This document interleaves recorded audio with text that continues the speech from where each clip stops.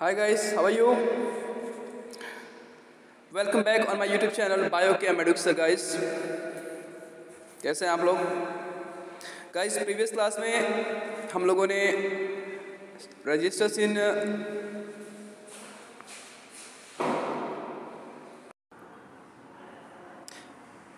so guys previous video में हम लोगों ने रजिस्टर्स इन सीरीज़ कॉम्बिनेशन देखा था अभी हम लोग रजिस्टर्स इन पैरल कॉम्बिनेशन देखने जा रहे हैं guys okay guys so let's see activity twelve point six सबसे पहले तो आप इस डायग्राम को देखिए। इस डायग्राम में क्या बनाया गया है? डायग्राम में सबसे पहले आपको जो है एक थ्री रजिस्टर्स लिया हुआ है। R R one R two and R three इन तीनों को पैरेलल कॉम्बिनेशन में अटैच किया हुआ है। गाइस ज़रा ध्यान से देखेंगे आप लोग। तो यहाँ पर यहाँ पर जो है, तीनों रजिस्टर्स को एक्स वाई टर्मिनल्स में एक्स और वाई टर्मिनल्स के बीच में अरेंज अरेंज किया हुआ है आप लोग को। ठीक है, देखिए, ये हो गया एक्स ये हो गया वाई इन दोनों के बीच में उसको अरेंज किया हुआ है। साथ में एक वोल्ट मीटर दिया हुआ है। ये वोल्ट मीटर जो है, अगर आप ध्यान से देखें तो इस बैटरी के पॉजिटिव टर्मिनल से अटैच है बेटा। देखिए, बैटरी का positive terminal and voltmeter का पॉजिटिव पॉजिटिव टर्मिनल ये एक तरफ़ है। अच्छा अब यहाँ पे ध्यान दें कि बैटरी का ये जो निगेटिव टर्मिनल है, वो एमीटर के निगेटिव टर्मिनल से अटैच है। ओके तो मतलब बताने का क्या है कि अगर आप उनके चार्जेस यानी कि प्लस माइनस को अगर ध्यान से अगर अटैच नहीं करेंगे तो ऑब्वियसली एक्सपेरिमेंट फेल हो जाएगा। So keep in your mind that battery B for battery and V for voltmeter ये दोनों एग्जैक्टली exactly आपस में सेम तरीके से अटैच है, यानी कि प्लस से प्लस और माइनस से माइनस मगर इनसे डिफरेंट कौन है? एमीटर एमीटर का अच्छा एमीटर का जो निगेटिव है, वो बैटरी के भी निगेटिव से ही अटैच है। मगर प्रॉब्लम किसमें है? वोल्ट मीटर एंड एमीटर ये दोनों जो है, आपस में वट आपस में डिफरेंट पैटर्न से अटैच हैं। वोल्ट मीटर का जो निगेटिव है वो एमीटर के पॉजिटिव से कनेक्टेड है बेटा। ये कनेक्शन आप लोग ध्यान से देखें, वो कनेक्शन को समझना ज़्यादा ज़रूरी है। अच्छा तो अभी तक आप लोगों को मैंने इससे पहले भी बहुत बहुत बार सिखा दिया है बेटा कि कैसे हम लोग जो है एक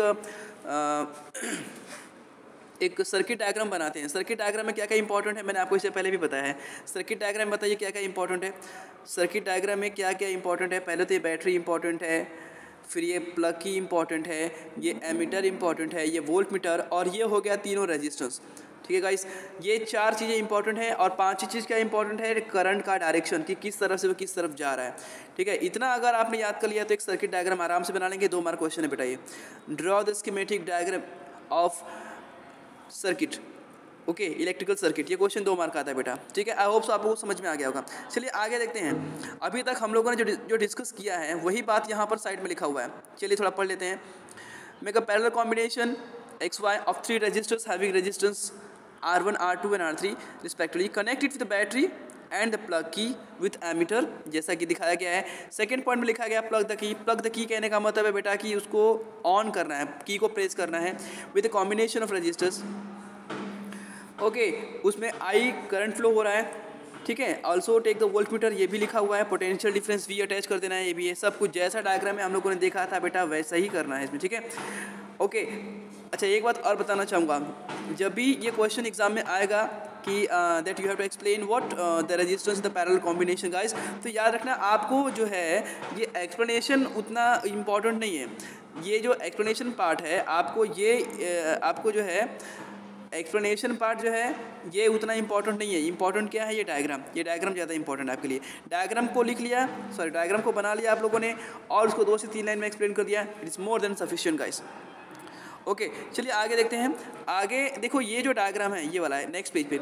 इस पर सेम टू सेम वही बात बोली गई है, बस उसने क्या किया है, थोड़ा सा उसको चेंज कर दिया है। क्या चेंज किया है, मैं बता रहा हूँ। ये कंडीशनल बात बोल रहा है। कौन सी बात कंडीशनल बोल रहा है?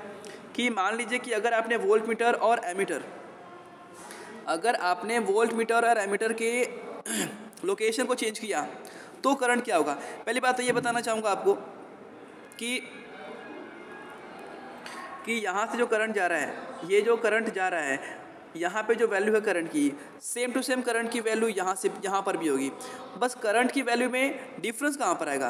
क्वेश्चन ये है कि करंट की वैल्यू में डिफरेंस कहाँ पर आएगा? डिफरेंस आएगा भाई यहाँ पर। बात समझ में आ रहा है? क्योंकि वो यहाँ पर एक वायर से वो तीन भागों में उसको क्या हो रहा है? बंटवारा हो रहा है, ठीक है? तो जितने पार्ट में वो टूटेगा, उतने पार्ट में उसका करंट की वैल्यू भी चेंज हो जाएगी। कारण क्या है? क्योंकि रेजिस्टेंस क्या है? पैरेलल कॉम्बिनेशन में गाइस बात समझ में आ रहा है?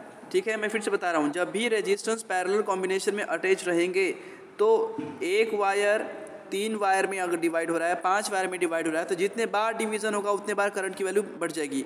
इसीलिए इसीलिए क्या होगा कि यहाँ पर करंट का जो वैल्यू है, वो भी चेंज हो जाएगा। अगर यहाँ पे करंट आई जा रहा है तो यहाँ पे करंट आई वन होगा, यहाँ पे करंट आई टू होगा, यहाँ पे करंट आई थ्री होगा। और जैसे ही ये तीनों वायर मिल जाएँगे तो वहाँ से जो करंट का जो आंसर होगा, वो वही रहेगा जो पहले था। यानी करंट की करंट का आंसर कितना था बेटा? आई था, वो उतना का उतना रहेगा। ओके गाइस चलो आगे देखते हैं। ये जो डायग्राम है, ये आपको एग्ज़ाम में बनाने की ज़रूरत नहीं है, ये कंडीशनल बात है। आपको ये बताना चाहता है कि अगर आप लोग वोल्ट मीटर और एमीटर की लोकेशन को चेंज करते हैं। इसका मतलब देखो अगर आप लोग याद करेंगे तो पहले आप लोगों ने वोल्ट मीटर को जो है यहाँ पे लगाया हुआ था। यहाँ लगाया हुआ था। और याद करो, डायग्राम के अकॉर्डिंग यहाँ पर एम्पियर था, सॉरी, एमीटर था। यहाँ पे बैटरी था, यहाँ पे जो है वो बैटरी था, कुछ ऐसा था, यहाँ पे की था। ठीक है, अब वो क्या बोल रहा है कि अगर आप वोल्ट मीटर को वोल्ट मीटर जो पैरेलल में था, उसको आप यहाँ पे लगा देते हैं। इसका मतलब है that you are making that voltmeter location parallel with respect to resistance R one only और पहले क्या था? पहले क्या था? तीनों रेजिस्टेंस के पैरेलल में था और अभी सिर्फ़ आर वन के पैरेलल में है। और एमीटर ए को आप लोगों ने केवल आर वन से ज्वाइन किया हुआ है। मतलब मतलब ये कि वो केवल अभी किसको फोकस कर रहा है? केवल इसको फोकस कर रहा है। इसको इसको इसको। देखो ध्यान से। ये दोनों को फोकस नहीं कर रहा है बेटा। ठीक है? वो बोलना चाहता है कि यहाँ पे जो करंट था आ, आगे भी वही करंट रहेगा ठीक है? मगर यहाँ पे जो करंट रहेगा वो ये तीनों सेम रहेंगे। अगर बोलने का ये मतलब है कि अगर ये अगर ये वोल्ट मीटर और एमीटर अगर आप R2 में लगाते हैं तो R2 की वैल्यू बताएगा R3 में लगाते हैं तो R3 की वैल्यू बताएगा। मगर यदि आप यहाँ पे लगाते हैं वोल्ट मीटर, जैसे पहले था तो वो इन तीनों का मिलाकर आंसर बताएगा कि कितना पोटेंशियल डिफरेंस यहाँ जनरेट हुआ गाइस आई होप्स आपको समझ में आ रहा होगा। चलिए आगे देखते हैं। आगे में आप देखेंगे तो क्या लिखा हुआ है, देखो। आगे आपके पास लिखा हुआ बेटा दैट पहली बात तो ये कि टोटल करंट कितना फॉलो हो रहा है मतलब ये पास हो रहा है। आई अब तीन भागों में बढ़ गया है तो आंसर क्या होगा? I one plus I two plus I three ये तो बता दिया मैंने आप लोगों को। अच्छा देखो, हम लोग को मालूम है कि ओम्स लॉ क्या होता है? V is equal to I R होता है। अगर V is equal to I R है तो यहाँ से आई का आंसर निकालो। आई का आंसर हो जाएगा वी अपन आर बात समझ में आ गया? ठीक है? अब यही वी अपन आर जो है, यहाँ पर आपको लिखा हुआ है। देखो, बस यहाँ पे आर पी लिखा हुआ है। आर पी का मतलब हुआ रेजिस्टेंस इन पैरल कॉम्बिनेशन का ठीक है? अच्छा उसके बाद? उसके बाद देखेंगे यहाँ पर फिर से ओम लॉ को भी फॉलो किया हुआ है। इसी को फॉलो किया हुआ, ओम लॉ को फॉलो किया हुआ, कैसे? अगर आई का answer V upon R P है तो इस इक्वेशन को यहाँ देखोगे ध्यान से आप लोग, क्या लिखा हुआ है? क्या लिखा हुआ है? I one is equal to V upon R one I two is equal to V upon R two and I three is equal to V upon R three guys ठीक है? ये तीनों का आंसर निकाल दिया है। उसने आई वन का आंसर निकाला आई टू का आंसर निकाला और आई थ्री का आंसर निकाला। अब क्या किया है? वापस इन तीनों को, इन तीनों को वापस इसी में पुट कर दिया है। और आपके सामने इक्वेशन नया कौन सा बन गया देखोगे ध्यान से। क्या इक्वेशन बन गया है? आपके पास इक्वेशन बना है V upon R P is equal to one V upon R one plus V upon R two plus V upon R three guys maths के अकॉर्डिंग हम लोग क्या करेंगे? वी को कॉमन ले लेंगे और वी को कैंसिल कर देंगे। तो आपके पास जो नया फॉर्मूला बनने वाला है, वो आपके सामने रेडी है। वो कौन सा होगा बेटा? One upon R P is equal to one upon R one plus one upon R two plus one upon R three guys चलो देखो लास्ट में एक कंक्लूजन लिखा हुआ है। कंक्लूजन क्या लिखा है? Concluded that what the reciprocal of the equivalent resistance बेटा रेसिप्रोकल यानी क्या होता है? वन अपन में होता है। और इक्विवेलेंट रेजिस्टेंस कौन सा है? आरपी यानी कि वन अपन आरपी जो है वो क्या reciprocal of equivalent resistance nothing but it is a group of resistances joined in the parallel देखो यहाँ पे तीन, तीनों को ग्रुप में लिखा हुआ है। One upon R one plus one upon R two plus one upon R three it is equal to the sum of their reciprocal in the individual resistances यानी कि अगर अगर इंडिविजुअल की वैल्यू निकाली जाए तो एक होगा वन अपन आर वन एक होगा वन अपन आर टू एक होगा वन अपन आर थ्री ये इंडिविजुअल हो गए इन तीनों को हम लोग सम कर देंगे आपस में। तो जो आंसर आएगा, वो रेसिप्रोकल ऑफ़ इक्विवेलेंट रेजिस्टेंस होगा बेटा। वन अपन आर पी हो जाएगा इस आई होप आपको समझ में आ गया बेटा। ठीक है? सो एनी डाउट अगर कुछ भी डाउट होगा तो प्लीज़ आप मेरे कमेंट बॉक्स में ज़रूर लिख के भेजें। ठीक है? I will solve that till that be safe and goodbye next class में हम लोग नेक्स्ट वीडियो बनाएँगे और उसमें देखेंगे ठीक है गाइस तब तक के लिए बाय बाय